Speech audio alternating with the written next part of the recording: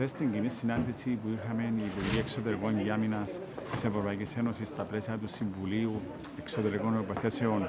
και Άμυνας, ε, η Κυπριακή Δημοκρατία έχει δηλώσει την υποστήριξη στη, στη ΠΕΣΚΟ και ουσιαστικά η ΠΕΣΚΟ η οποία στόχο έχει να ε, προβεί στην ενδυνάμωση της ασφάλειας αλλά και στην αναβάθμιση των αμυντικών δυνατοτήτων.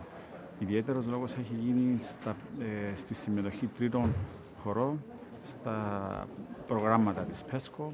όπου ε, έχουμε κάνει ξεκάθαρο ότι τέτοιες συμμετοχές θα πρέπει να γίνονται κάτω από εξαιρετικές περιστάσεις και πρέπει να ικανοποιούνται ιδιαίτερες προποθέσει, ε, διασφαλίζοντας τις αξίες και τις αρχές της Ευρωπαϊκής Ένωσης. Ε, σήμερα θα συνεχίσουμε τις εργασίες με αναφορά ε, στη συνεργασία Ευρωπαϊκής Ένωσης και ΝΑΤΟ, όπου θα έχω την ευκαιρία να αναδείξω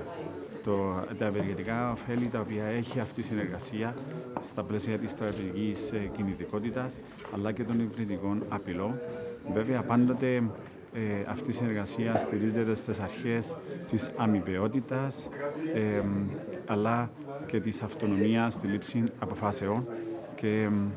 πιστεύω ότι η Κύπρος σε αυτόν τον τομέα των υβριδικών απειλών θα έχει να αναφέρει αρκετά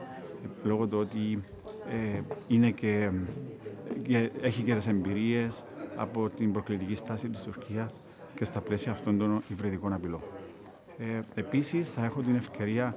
σήμερα το απόγευμα να προβώ σε ένα χτίρια ομιλία ε, στην τελετή εγγενείων της πλατφόρμας για την εκπαίδευση και αξιολόγηση αλλά και ασκήσεις για θέματα κυβερνοασφάλειας.